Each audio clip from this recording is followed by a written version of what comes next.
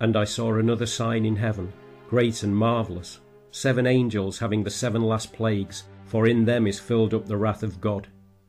And I saw as it were a sea of glass mingled with fire, and them that had gotten the victory over the beast, and over his image, and over his mark, and over the number of his name, stand on the sea of glass, having the harps of God.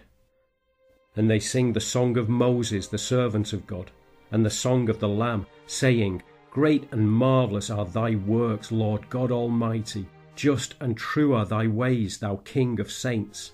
Who shall not fear thee, O Lord, and glorify thy name? For thou only art holy.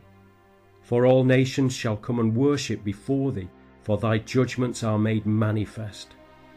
And after that I looked, and behold, the temple of the tabernacle of the testimony in heaven was opened.